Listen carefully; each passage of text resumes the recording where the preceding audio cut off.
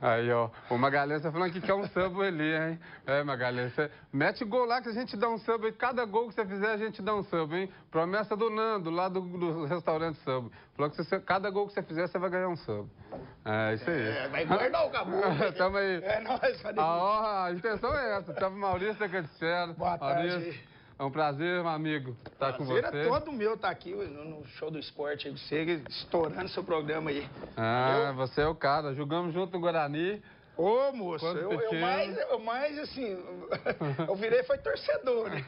Hoje você está aí como repórter, mas você jogava muito mais que eu. O Maurício, é, tem uma história vasta no esporte, é, auxilia bastante quanto com o Cruzeiro, né? Com a Red Bull, auxilia também, amigo do Marcelinho lá da Guaragolo. Isso, da Guaragolo também, ajudando né? lá também. Um abraço Marcelinho, para o pessoal da Red Bull e da Guaragolo, que incentiva. Tá assistindo lá na Serrana lá. Grande Marcelinho, viu? Tive com ele ontem lá no jogo treino do Guarani. Aliás, Magalhães, belo jogo da, da turma, hein? A gente vai falar isso depois. O Guarani venceu 4 a 0 né? O, o pessoal de BH é, talentos descobertos, mas o, o, que mais me mostrou, o que eu gostei do Guarani foi é, a agressividade, que vocês partiam para cima, é, outros guaranis, guaranis para trás, a gente via uma água lentidão, morna, né? né? uma lentidão morna. no Agora... ataque, não, eu vi o pessoal partindo para cima. Isso aí é que a torcida gostou, bateu muita palma, tinha mais de 400 torcedores, se eu não me engano, por, por olho assim, eu vi uns 400 torcedores, o saguão de entrada estava cheio, é, então gostei bastante. Maurício, o Fred desencantou. Oh. Aleluia, Fred Guerreiro. Ah, agora vai? Agora vai. Agora Solta aí para nós os melhores momentos, Tombense e Cruzeiro. O Fred desencantou, Maurício, mas quem é o artilheiro é Rafinha. Rafinha, Rafinha aí tá matando a pau também, né? Acho que o, o Rafinha era um, um, ótimo reserva. Foi um ótimo reserva aí. Aí nessa que o, o Mano tava, como se diz, poupando os jogadores titulares do Cruzeiro, deu oportunidade pro Rafinha e o Rafinha mostrou para que veio e hoje agora o Mano está com um grande problema na mão. Titular aí praticamente absoluto, o Rafinha, artilheiro do Campeonato Mineiro.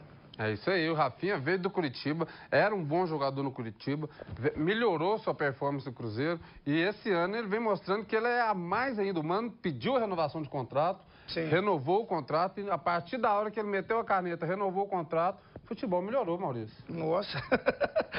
Artilheiro. aumentou também um tiquinho ali o salário. Aumentou o salário e ele correspondeu, ele ficou feliz com, com o aumento. É isso né? aí. E o Cruzeiro está é correspondendo em campo, quatro gols no Campeonato Mineiro, é o artilheiro. Thiago Neves. É um bem, dos melhores também. atacantes do Brasil? Tá jogando muito também, vai, vai dar um, um, como se diz, vai ajudar o Cruzeiro demais nessa Libertadores aí, pela experiência dele. Então é um cara que precisa dele, ele não pode sair para a Arábia, igual eu estava falando aí, ele vai ficar, tomara, né?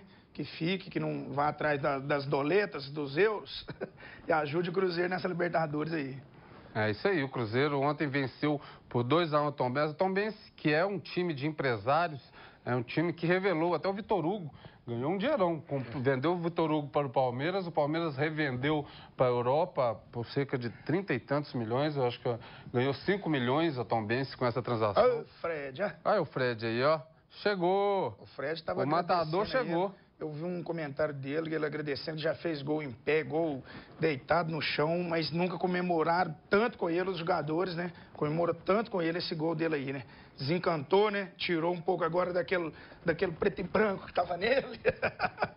agora ele é azul de novo e branco. Tamo junto, Fredão. É isso aí, o Fred que foi um dos principais artilheiros ano passado, esse ano passou dois, jogo, dois jogos em branco, mas já mostrou que aqui veio. Eu tenho por certo, Maurício, que o Fred vai ser um dos maiores artilheiros do Brasil de 2018. Porque ele sempre foi. Eu acho que não vai ser diferente. É, com, com um grupo unido, igual eu estou vendo aí, né, nos bastidores. Muito vídeo eles estão fazendo, brincando, divertindo, fazendo aposta de videogame, quem perdeu e tal. Então, estão um grupo unido, igual eu vi que aconteceu em 2013, né? O grupo fechou e ali acabou, meu filho. Campeão brasileiro 2013 2014. É isso aí, Rafinha é o cara do Cruzeiro. Mas Fred marcou e veio, mostrou que veio para ser o artilheiro do Cruzeiro na temporada. O Cruzeiro que entra na Libertadores para ser campeão? Eu acho que sim. E, uma da, das Libertadores mais difíceis aí, depois de muito tempo, né? Só time de tradição na Libertadores aí, 2018, e, vai ser pedreira. É, o Cruzeiro vai para Libertadores. É o único clube do Brasil que nunca saiu na fase de grupos. Né? Então o Cruzeiro. Tem uma história. Tem uma história bonita, é. A Labesta é, Negra? É, a Labesta Negra. Até convidar a turma aí que quiser ir. Já é certeza, a gente vai para o Chile, dia 19 de abril. Estamos né? é, reunindo uma galera de amigos aí, vamos comprar uma passagem, todo mundo junto, e lá ver o Cruzeiro contra a Universidade do Chile, lá em Santiago, né? Conhecer lá, lembrar os velhos tempos de Norival Martins, ah, que a gente ia no BC do craque. Até Bom. ontem mandou um abraço pro Breno, topei com o Breno, tava tomando uma cerveja, a gente até encheu o olho d'água, lembrando um jogo dele lá no, no campo do Palmeiras, na BC do craque, virou o jogo lá contra um time do Chile, não sei se era o Colo-Colo e arrebentou no jogo, mas infelizmente o, o, naquele, naquele dia o ABC do craque não classificou. Foi, mas foi emocionante. Então eu conversei com ele, ele falou que não esquece desse jogo. Várias histórias de ABC Várias do craque. Né, histórias. Né? Salve, salve, Norival, Norival Martins. Norival Martins, saudoso, foi nosso professor. Né? Nos deu a oportunidade de jogar fora do Brasil, de jogar é, contra grandes times da, da, América, né? contra Grêmio, Flamengo. É, a gente teve essa oportunidade de jogar no Chile, jogar na Argentina, no Paraguai.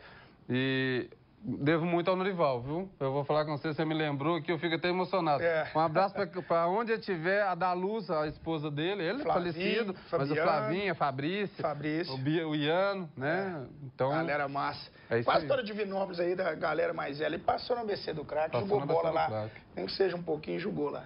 É isso aí. Maurício, e o Guarani?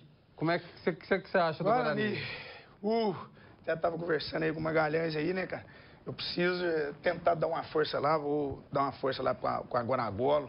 É, a Red Bull também tem muitos, tem muitos integrantes aí que devem ir lá.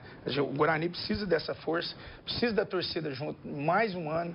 Ano passado foi muito complicado, a gente quase caiu aí para terceira. Às vezes é porque o, o, o Formiga estivesse julgando, né? Poderia ter complicado. Então a gente tem, nós somos de Vinópolis, tem que dar essa força para o Bug subir né, para ano que vem tentar a classificação no Campeonato Mineiro. O Campeonato Mineiro agora que mudou, agora classifica oito, já facilitou né, na, ali na primeira divisão.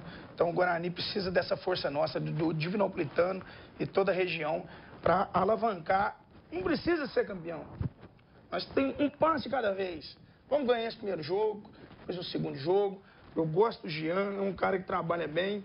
Então, para o Guarani poder subir um passinho de cada vez, eu estava conversando isso com o Magalhães. O Guarani vai chegar lá. Vamos pôr o pé no chão, ver o que está errado e arrumar essa casa e o Guarani vai subir esse ano. É, eu gostei Deus do Guarani, é um time leve. A gente vai comentar mais sobre o Guarani quando o Magalhães estiver aqui, mas é um, um, um, grupo leve, um time leve, que eu gostei disso. Uma zaga leve, um ataque leve e um, um time que vai para frente. Tá um time então, de peso Guarani 2, não, não, né? tá, não, a gente já parou, né, Maurício? Então agora a gente está em outro lugar. Agora a gente deixa o Magalhães fazer gol lá e vai ganhar samba, hein? Agora vende seu, seu peixe aí, você está com um novo empreendimento. É, sanduíche, agora Ô, espero, mudou, agora espero, vai, tá, tá mexendo, tá reformulando tudo, né? A logomarca, aproveita, aproveita. a logomarca, tá mudando tudo lá. A gente já veio aí, independente disso. Temos aí, estamos fazendo esse sorteio aqui dessas camisas. Põe o Instagram para nós, gente, ah, que a gente ah. vai soltar lá no Instagram. Quem, quem arroba... quiser conhecer, comprar, quem não, não ganhou no sorteio, quiser comprar a camisa da Mafia Azul, só procurar nós lá. A gente tem a lojinha da Mafia Azul em cima da Catispero o Goiás 1679. Só lá procurar nós, lá vai procurar o Oreia. Né? O Oreia fica na loja lá para poder vender o nosso material lá da Mafia Azul lá. E o sanduíche novo? Ah, o sanduíche artesanal, cara. Ô, frango supremo, super burger, né? Quem quiser lá é, deliciar com sanduíche artesanal, vai lá na Catispera, você vai ver que negócio mais top do mundo. Magalhães, vai lá. Já liberei pra ele. Ele tá liberado pra ele comer um sanduíche lá. Depois do jogo, viu? Antes do jogo, não. É só pra repor os carboidratos. Senão vai vacaiar, vai pesar o rapaz. E ele tem que correr muito aí pra nós no Guarani. É isso, é aí, Maurício. É um prazer te receber aqui. Todo Espero mundo. que o Cruzeiro tenha, conquiste os títulos, tanto o Cruzeiro quanto o Atlético, o Guarani, porque todo mundo fica feliz e Minas voltar ao topo, assim como foi no passado recente. Disputamos finais de Copa do Brasil e o, o Guarani não estava bem, mas o Atlético Cruzeiro teve bem, isso. o América está bem de uns dois anos para cá. Tomara que o Mequinha também consiga ficar. É isso aí, né, ano. né, cara? Somos mineiros, então contra Rio e São Paulo, vale tudo, qualquer um pode ganhar. A gente tem que crescer o nome de Minas Gerais aí no cenário nacional e mundial. Né? É isso aí, irmão. É nóis, parceiro. Tamo junto. Gente, deixa eu dar mais um recadinho para você.